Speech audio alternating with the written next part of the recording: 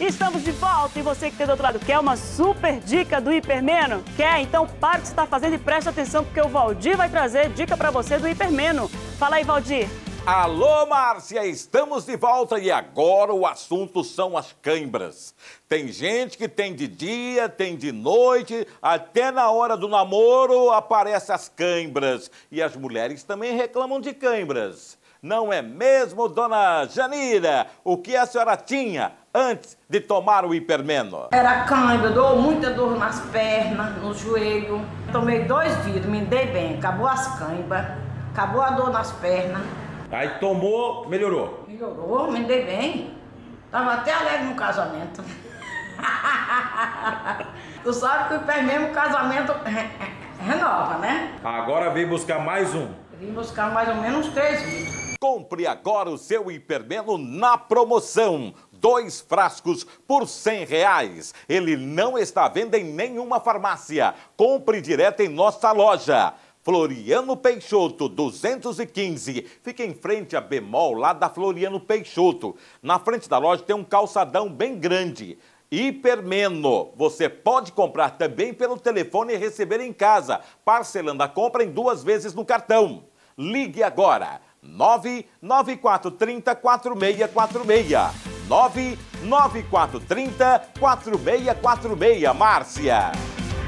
Obrigada, Valdir, dona Janine. É enxerida essa dona Janine. Sabe quem tomou também permeno aqui para dar uma alegrada no casamento? A Ingrid. Não foi, Ingrid? Ela não pode sair de lá para quebrar minha cara, ela fica quietinha lá. Olha, gente, são 11 horas e 15 minutos. Vamos lá, vamos para mudar de assunto, vamos falar de coisa séria agora, porque a polícia está procurando uma criança de 5 meses que desapareceu lá na área da Manaus Moderna, no centro da capital, na última sexta-feira. A criança, uma menina, estava com a mãe quando desapareceu. Quem vai trazer os detalhes para a gente aqui na tela é o nosso repórter Juscelio Paiva. É ele que conta como é que essa história aconteceu. Juscelio. Pois é, Márcia, é uma história ainda muito mal contada. A Polícia Civil do Amazonas começou a procurar ontem à tarde pela pequena Ana Beatriz Marques, a menina de 5 meses de idade que desapareceu aqui da movimentada Orla da Manaus Moderna, no centro da capital. Só que a criança desapareceu na última sexta-feira e a polícia foi comunicada do caso pelo Conselho Tutelar da Zona Sul, que soube do desaparecimento e foi até a delegacia especializada em proteção proteção à criança e ao adolescente. A mãe da pequena Ana Beatriz não teve o nome divulgado, mas segundo informações da polícia, ela costuma ficar consumindo bebida alcoólica aqui na área da Manaus Moderna. E ela estava com a filha na última sexta-feira, quando a criança desapareceu. De acordo com a delegada Juliana Tuman, da DEPCA, a mãe, além da Ana Beatriz, ela tem mais dois filhos e também está grávida de quatro meses. A delegada quer elucidar toda essa situação, mas primeiro tentar encontrar a criança que pode estar em situação de vulnerabilidade. Qualquer informação que possa ajudar a polícia a encontrar a criança pode ser repassada para esses números que aparecem no visor ou até mesmo para o 181, que é o disque denúncia da Secretaria de Segurança Pública do Amazonas. Mas quem quiser ir até a delegacia, quem quiser ir até a DEPCA, a delegacia fica localizada no conjunto Vista Bela, no Planalto, na zona centro-sul aqui da capital. Até o momento é realmente muito estranho o desaparecimento da criança, da pequena Ana Beatriz, que estava com a mãe quando desapareceu aqui da Orla da Manaus Moderna. Eu volto com você ao estúdio, Márcia. Obrigada, Juscelio Paiva. Ele falou Zona Centro-Sul, é Zona Centro-Oeste. O Jefferson Muniz está aqui atualizando para a gente aqui as informações. São 11 horas e 17 minutos. É uma pena, viu? É uma pena que a gente tenha que dar notícias como estas. É uma pena que a gente veja uma mãe que está preocupada em... É, satisfazer o seu vício, né? Porque todo, todo mundo suspeita que ela seja alcoólatra e, deve, e realmente deve ser, porque para levar uma criança de cinco meses até um bar e ficar lá bebendo com essa criança, nem todo mundo pode beber. Quem quiser beber, pode beber. Se a mulher gosta de beber e gosta de ir, pode ir. O negócio é não colocar a criança na mesma situação que você está se colocando. Não é um bar, a criança não é lugar de bar. Né? A criança não tem que ficar em bar. Bar não é lugar de criança, ou melhor, sendo mais exata, né? O bar não é lugar de criança. A criança tem que estar em casa, no calor da sua casa, no conforto do seu lar. Não quer dizer que seja com dinheiro, porque o conforto, ele é, ele é um conforto emocional também. Nós não estamos falando só do conforto material, nós estamos falando do conforto emocional, do cuidado, do carinho, do trato que tem que se ter com aquela criança. E o que a gente viu foi que a criança desapareceu. Agora, ninguém sabe se alguém levou a criança porque quis ou se foi a mãe que deu a criança para alguém, ninguém sabe. O que se sabe é que a criança está desde a sexta-feira desaparecida. Hoje já é quarta-feira, sexta. Sexta-feira, vou contar com sexta, viu? Sábado, domingo, segunda, terça, quarta. São seis dias praticamente que está se, se fazendo, né? E a gente vê aí a criança desaparecida e a mulher já está grávida de quatro meses. De novo. E vai fazer o que com esse outro filho que está na barriga? Como é que tá os outros dois filhos dela?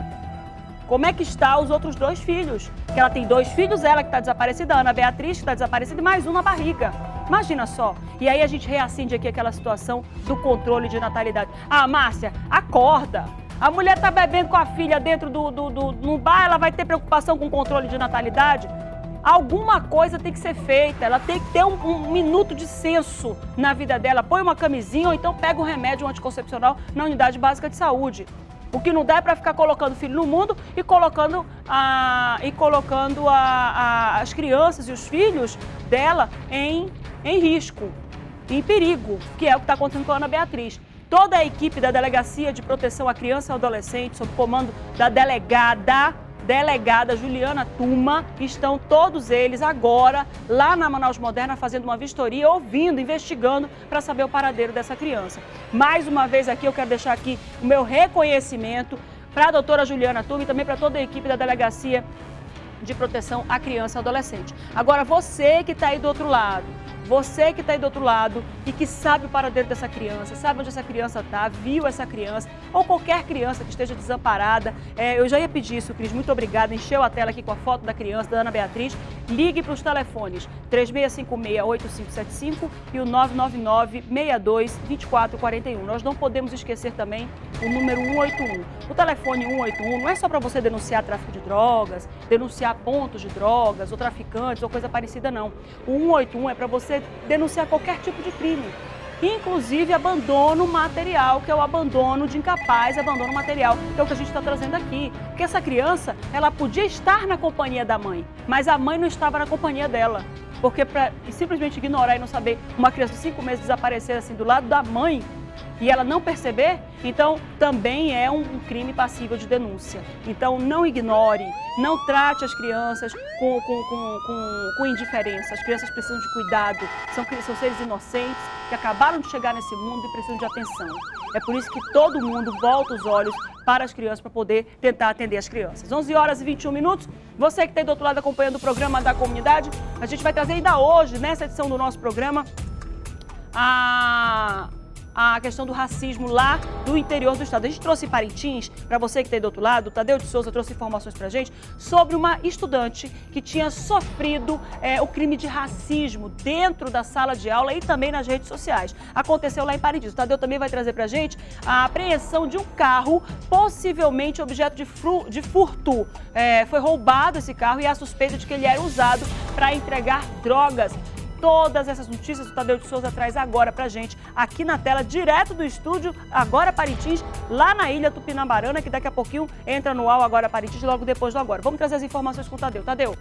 Alô, Márcio, amigos do programa da comunidade, alô, parintinenses, espalhados aí pelo Amazonas, os que moram em Manaus, os que moram nos municípios onde chega o sinal da TV em Tempo SBT. O nosso primeiro destaque aqui, Márcia, é da delegacia. Nós temos aqui o caso daquela estudante, desta estudante aqui, que foi é, ofendida nas redes sociais, ofendida na sala de aula, segundo denúncia dos próprios pais, pelos colegas de aula, pelos colegas da própria sala de aula. Ontem, a delegada da mulher ouviu a vítima, os pais da vítima, e hoje vai ouvir a gestora e os alunos da escola envolvida na questão. Na tela do agora. A vítima, acompanhada dos pais, foi ouvida na delegacia especializada em crimes contra a mulher, menores e idosos pela titular, Alessandra Trigueiro. A delegada disse que hoje vai notificar a gestora da escola e os alunos envolvidos no caso. É, nós estamos apurando né, os fatos. É, hoje foi ouvida a vítima, depois vou ouvir o adolescente. É, em seguida, vamos é, notificar a gestora da escola e alguns alunos e professores que estavam lá no momento da suposta ofensa é, à, à, adolescente. É, a vítima foi ouvida, foi ofendida lá é, dentro da sala de aula e nós estamos apurando realmente a veracidade. O conselheiro tutelar Marquinho Azevedo, que acompanha o caso, também participou da audiência ele chama a atenção dos professores, gestores e pedagogos para que fiquem atentos a esses problemas que começam a surgir nas escolas de Parintins. A gente fica triste que ainda existe isso dentro das escolas. Eu chamo a atenção dos professores, dos gestores, da pedagoga, que prestem mais atenção nesse lado das crianças. Às vezes eles não têm, como diz a minha avó, Língua não tem osso, fala o que quer. É aí que a gente entra como profissional da educação para amenizar esse, esses problemas que futuramente essa, esse adolescente vai ficar com o psicológico meio abalado. Tanto que a gente vai encaminhar ela para o psicólogo para tirar isso da cabeça que não existe o que falaram para ela. O caso envolvendo a estudante aconteceu na semana passada.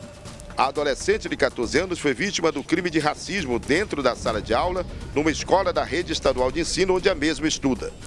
A garota contou à delegada que uma foto sua com uma legenda escrita macaca foi veiculada nas redes sociais. Os suspeitos de terem feito a publicação são os próprios colegas de aula. Vamos continuar falando dos destaques de polícia aqui na cidade de Parintins. Márcia, ontem uma guarnição da PM apreendeu este carro. Este carro é de Manaus e estava circulando aqui no município de Parintins. Ele tem um pedido de bloqueio judicial. Quem souber aí em Manaus quem é o proprietário do carro, pode entrar em contato aí com a TV em Tempo, né? E, e, com a TV em Tempo, ou então aqui também com a TV em Tempo Parintins pelo celular 992971070. O carro está apreendido lá na delegacia de polícia. Na tela do agora.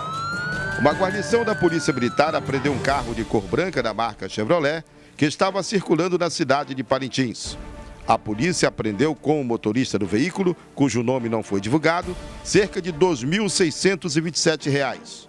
O delegado Adilson Cunha descobriu que o veículo tem um pedido de bloqueio judicial. Uma atitude bem estranha, né?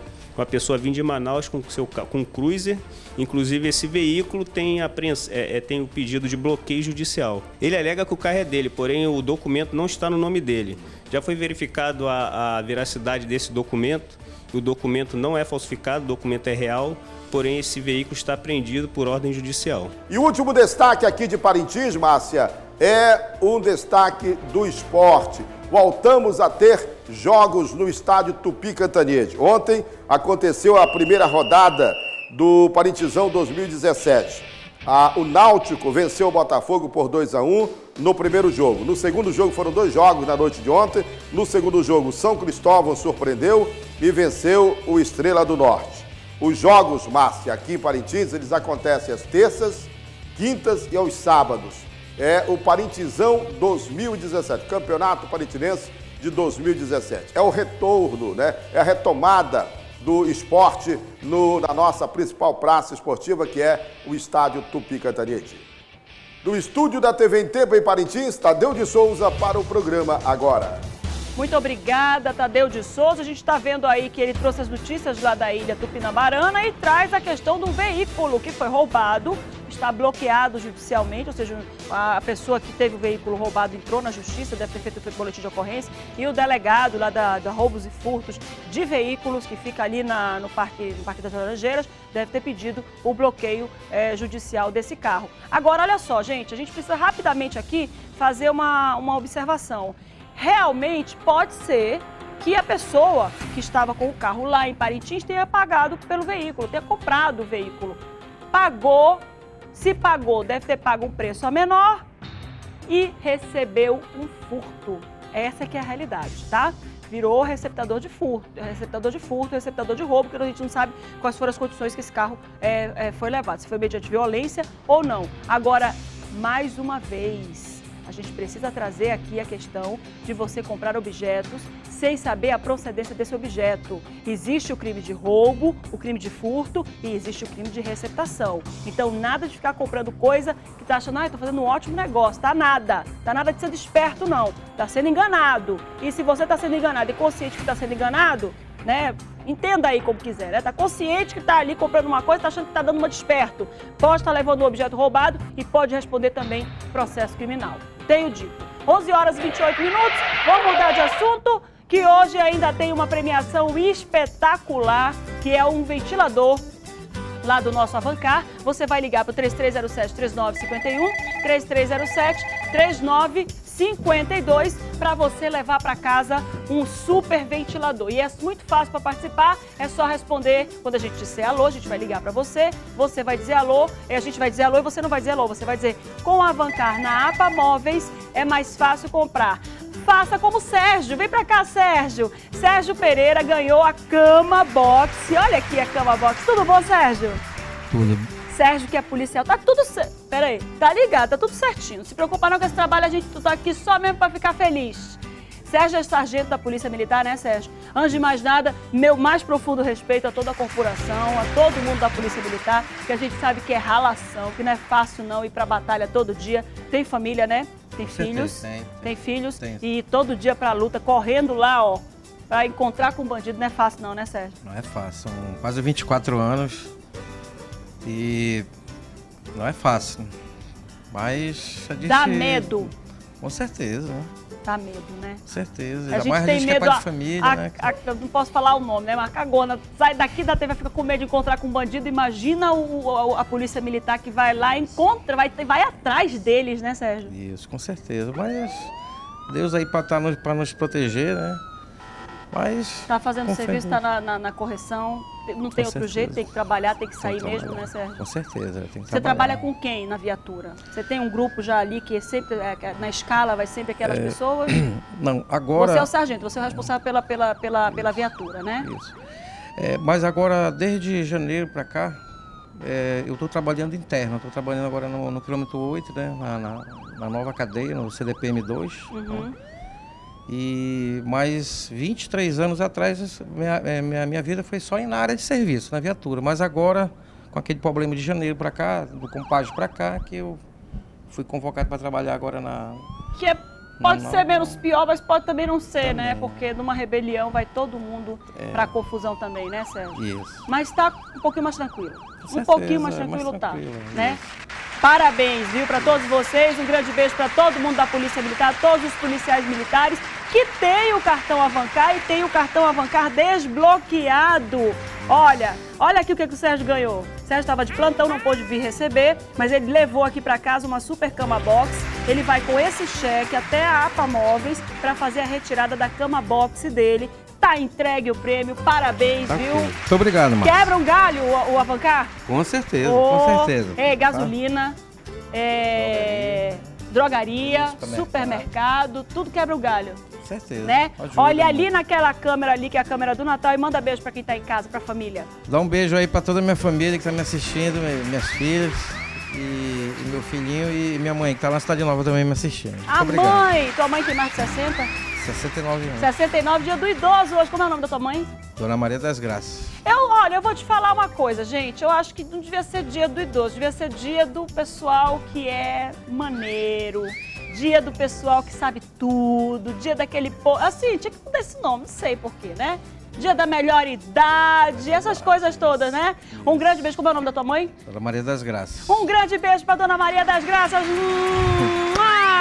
Um beijo, peixinho, coração explode para todos os, para todo esse povo da melhor idade, que é a melhor idade. Agora, Sérgio, hoje a gente está comemorando o Dia do Idoso também, né? E o Juscelio Paiva, que vai ser no dia 1 de outubro, e o Juscelio Paiva está lá no Parque do Idoso, na Aparecida. Tua mãe vai para algum Parque do Idoso?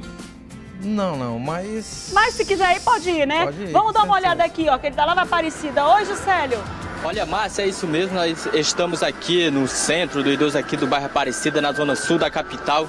Olha só, alguns deles estão jogando aqui o dominozinho, né? Mas nós viemos falar hoje porque durante toda a semana eles começaram ainda na segunda-feira comemorar o Dia Internacional do Idoso, que vai ser no domingo, dia 1 de outubro. Mas durante toda a semana tá rolando programação aqui também, dominó, mas também tem coisa referente à saúde, porque a idade chega e tem que cuidar principalmente é da saúde, né, Márcia? Então é pedir pro Anderson vir aqui mais um pouquinho, olha só ali atrás.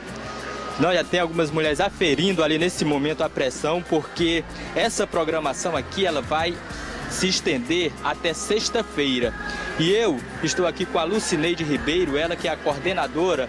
Lucineide, o Dia do Idoso é dia 1 de outubro no domingo, mas Aqui o centro se antecipou e durante toda a semana está com uma programação especial, principalmente oferecendo aí várias opções né, de atividades aos idosos aqui do centro e também da comunidade geral. É verdade. Desde o dia 25, de 25 a 29, começamos a Semana Gerontológica e de hoje foi atendimento de saúde, com vários serviços ofertados. Amanhã vamos ter o esporte, né? Vai ser a área esportiva, com aulão de hidroginástica, aulão de ginástica.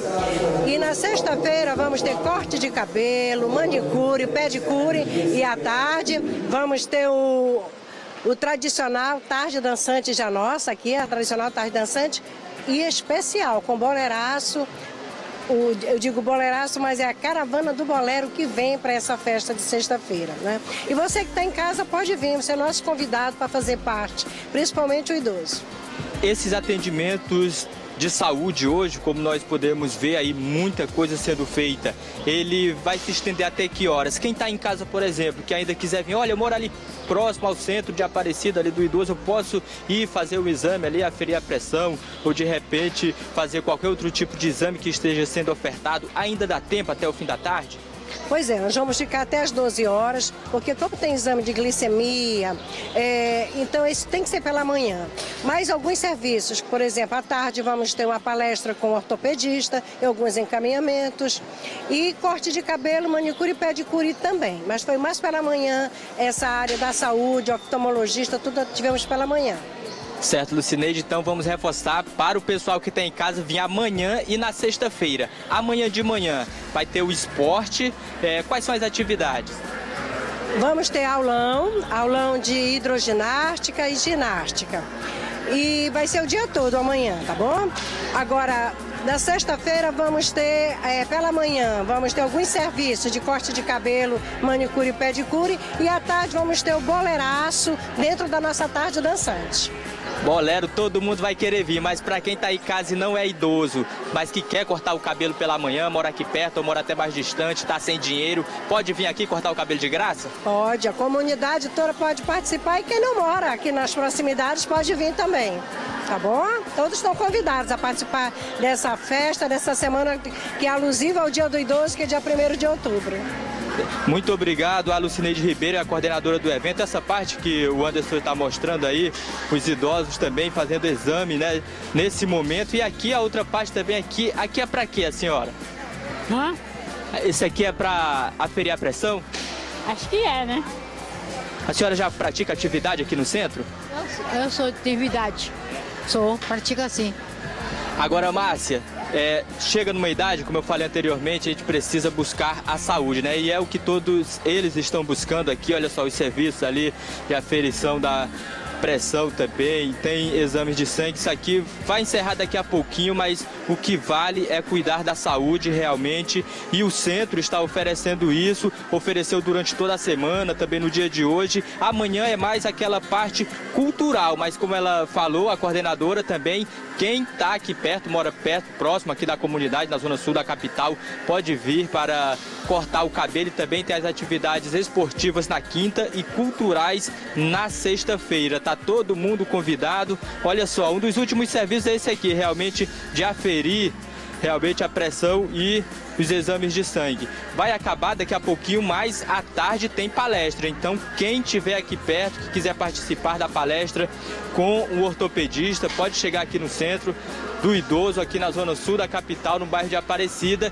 Nós vamos ficar, Márcia, com essas imagens aqui. Para finalizar, vamos falar com o idoso, né? A senhora já participa das atividades aqui ah, no centro? Sim, já participo.